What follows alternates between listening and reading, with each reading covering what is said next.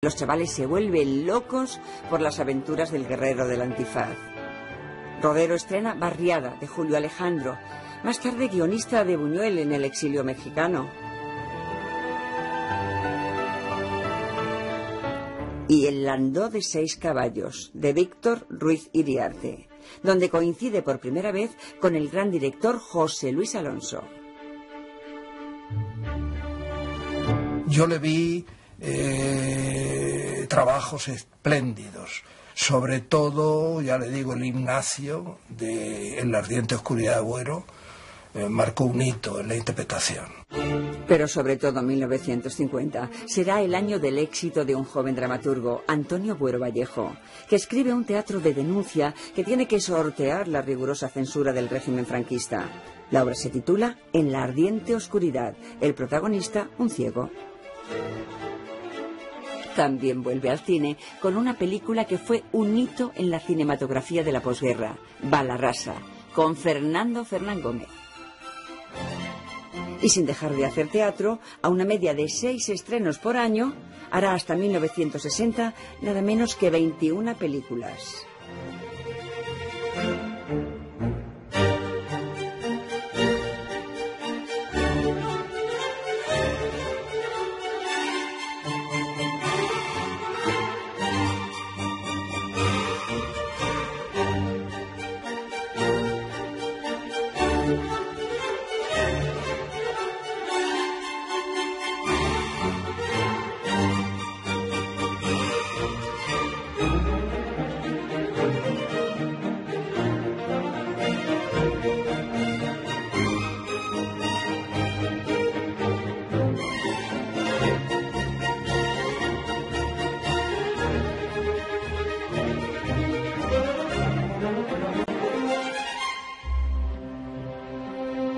Rodero va madurando y perfeccionando su técnica, ayudado por su maravillosa facilidad.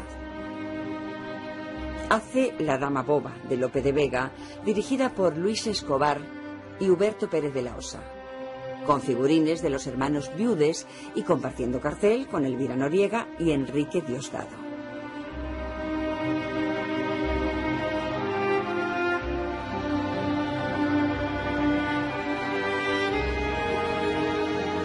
No deja de hacer teatro.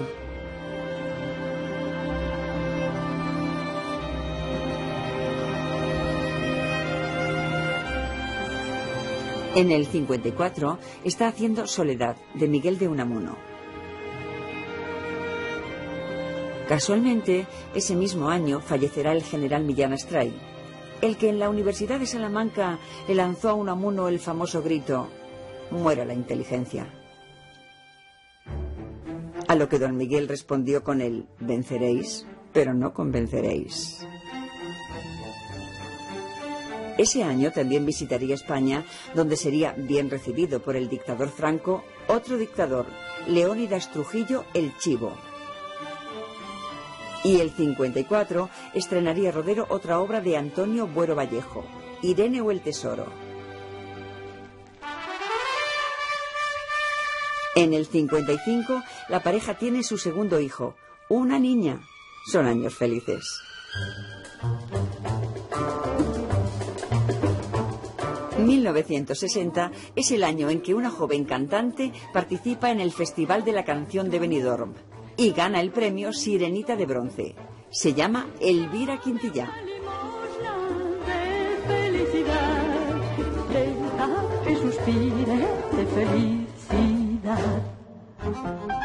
Nikita Khrushchev, primer ministro de la Unión de Repúblicas Socialistas Soviéticas, arma un taco en la ONU.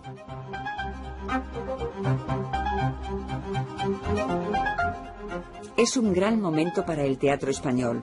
Rodero estrena La Idiota, dirigido por José Osuna, con Analía Gadé. Y compuesta en escena de Gustavo Pérez Puch, uno de sus escasos papeles de comedia. Conmigo hizo una tal Dulcina de Paso que hacía un papel cómico y estaba fenomenal.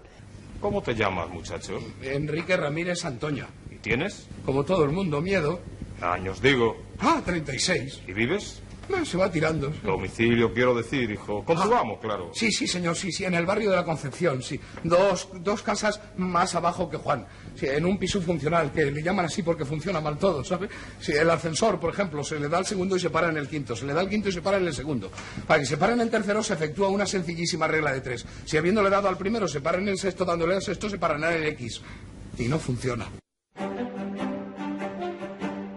Pero desde el 60 al 65, Rodero iba a estrenar tres de las obras que lo colocarían en la cúspide de su profesión. El concierto de San Ovidio de Buero Vallejo, su segundo protagonista ciego.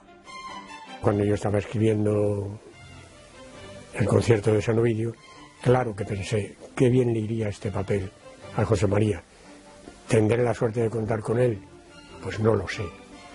Tuve la suerte de contar con él. ¿Adriana? Ha debido ser ella quien ha cruzado. ¿No te has ido? Te esperaba. Vete tú si quieres, hijo. Y yo no tengo ganas de caminar. Yo no soy tu hijo. Y no te dejaré solo con ella. ¿Qué estás diciendo? ¿Crees que no sé lo que te pasa? No digas ni una palabra más. Y vámonos. Yo no me voy. Ella me prefiere a mí. ¿Por qué dices eso? Porque tú la quieres. Pero no la tendrás. Pues yo decía, yo decía, oye, José María, yo noto que me voy, que yo me convierto en- en el personaje. Y después yo no, me, yo no me convierto, yo soy Rodero, que hago, hago eso para engañarles a estos que están ahí y lo hago, procuro engañarles lo mejor posible, pero yo no, no me, yo no me creo, yo no me creo. Pero yo, yo pienso que sí se lo creía. Yo soy un señor que se dedica a engañar a unos señores que saben que van a ser engañados. Si se produce el milagro de que el engaño se produce, entonces es cuando se produce el milagro del teatro. Yo creo que ahí en, esto- en estos cinco o seis años que van, desde, o sea, los finales de los 50 y hasta el final de los 60, yo creo que esa es la década en la que Rodero deja de ser un, simplemente un buen actor para convertirse en un actor importante del teatro español. Rodero era la, la perfección academicista. Ahí se notaba que no había ninguna improvisación. Eh, no se notaba, pero el profesional sí lo advertía, que había una elaboración del personaje y de los matices, que si había una sonrisa, esa sonrisa no era casual, no era espontánea, pero todo eso el público no lo veía, claro. Esta noche pesa, pesa como el dolor humano.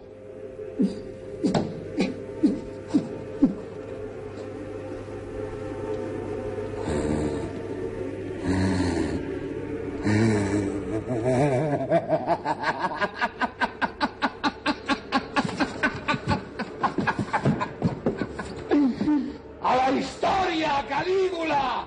¡A la historia!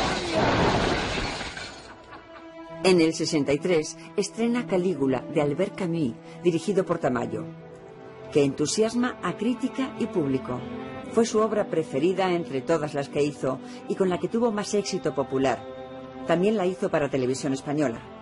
En teatro la interpretaría de nuevo años después y volvió a tener un gran éxito con ella.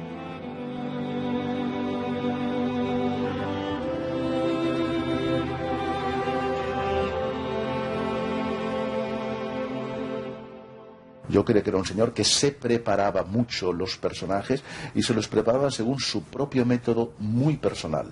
Él tenía una forma especial de hablar, incluso con una música muy especial, que quizá, quizá alguien podría confundir en algún momento con algún soniquete especial. Era su especial y particular manera de hablar. Y ahora escúchame bien. Érase un pobre emperador a quien nadie quería. Él, que amaba tanto a Lépido, mandó que matasen a su hijo menor para sacarse aquel amor del corazón. Y nadie, ¿verdad? ¿Tú no te ríes? Nadie se ríe. Pues bien, oídme. Quiero que todos se rían. Tú, Lépido, y los demás. En pie y a reír. Quiero, ¿me oís? Quiero ver a reír. Adelante, don Francisco de Quevedo.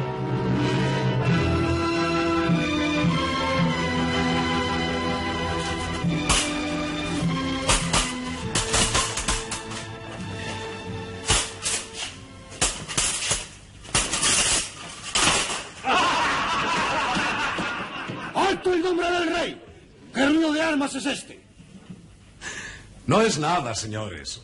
Es el ilustre Pacheco de Narváez, maestro de espada de su majestad, que me estaba dando una lección. Gracias, señor.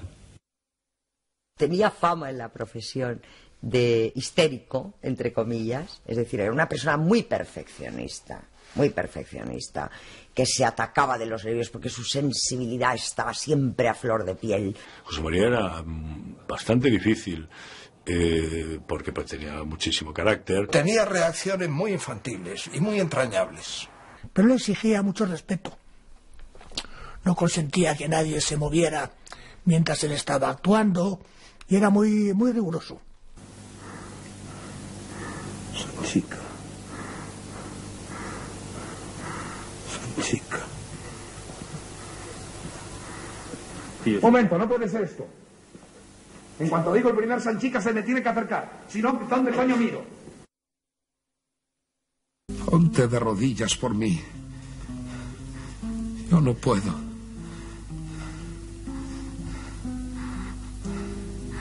Señor, me has dado una larga vida de castigos y te he obedecido sin preguntar. Primero creí que mi castigo era el frío, después creí que era la soledad. He necesitado una vida entera para comprender que la soledad y el frío son una misma cosa. Si volviera a nacer y volvieras a condenarme a estar solo, volvería a obedecer. Pero solo para la eternidad no. No me dejes fuera con mi soledad y con mi frío. Ábreme tu puerta, Señor. Ábreme.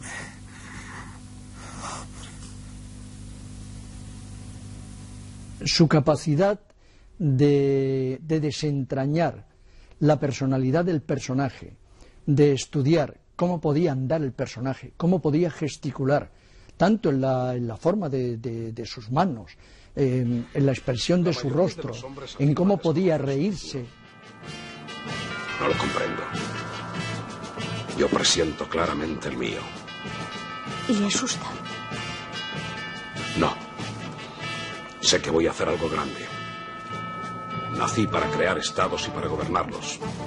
Pertenezco a los hombres elegidos que forjan la historia del mundo. ¿Se ríe de mí? Se le sobra lo que me dice el director.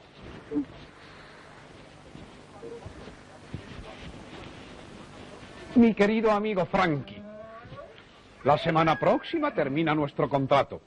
Lamento mucho comunicarte que ya no necesitamos tus servicios. Hemos contratado una nueva pareja de Augustos.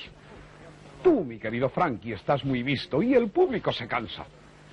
Ya no tienes gracia. Papá, vamos a afrontar los hechos. ¿Quieres? Cuéntame, ¿qué, qué ha ocurrido? ¿Te recibió en su despacho o en la sala de visitas? Salía en, en aquel momento. No es un gran hombre, no, no creas que recibe a cualquiera. Ya, ya, ya sé. ¿Cómo reaccionó ante la idea? Papá, me dejes que te explique en cinco minutos. Es lo que estoy esperando desde que me he sentado aquí. ¿Te recibió en su despacho? ¿Y qué? Pues, pues yo le hablé. Y él me, me- me escuchó. Oh, es un hombre que sabe escuchar. sí. ¿Qué contestó? Pues la, la respuesta. No, no me dejas decirte lo que le tengo que decir. No has ido a verle, ¿verdad? Sí, le he visto. ¿Le has insultado o qué? Le has insultado. ¿Quieres dejarme que te explique de una vez? Biff, ¿qué ha sido? No puedo hablar con él. Y entonces